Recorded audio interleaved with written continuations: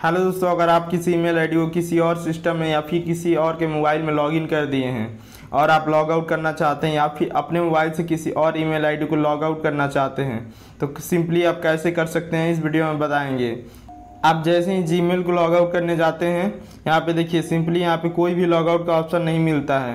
तो चलिए आपको इस वीडियो में हम बताते हैं कैसे आप जी को लॉग आउट कर सकते हैं। इस वीडियो को अंत तक देखते रहिए। हमारा नाम है सूरज कुमार शाह और आप देख रहे हैं यूजफुल टेक्नोलॉजी तो देखिए, सबसे पहले आप सेटिंग में चले जाएँगे और सिंपली यहाँ पे नीचे स्क्रॉल करके आएँगे। देखिए, यहाँ पे गूगल का ऑप्शन आएगा। गूगल के जैसे ही ऑप्शन पे क्लिक करेंगे, यहाँ पे देखिए, खुल के आ जाएगा आपका।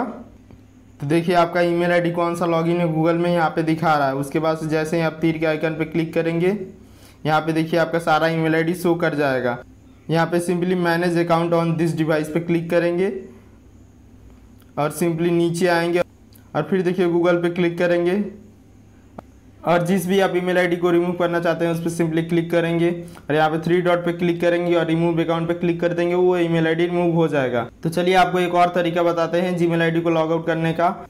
तो देखिए सिंपली आप जीमेल में चले जाएँगे और यहाँ पे जीमेल आईडी के लोगो पे क्लिक करेंगे।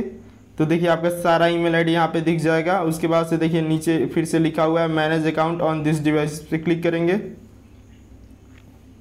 और सिंपली गूगल पे क्लिक करेंगे।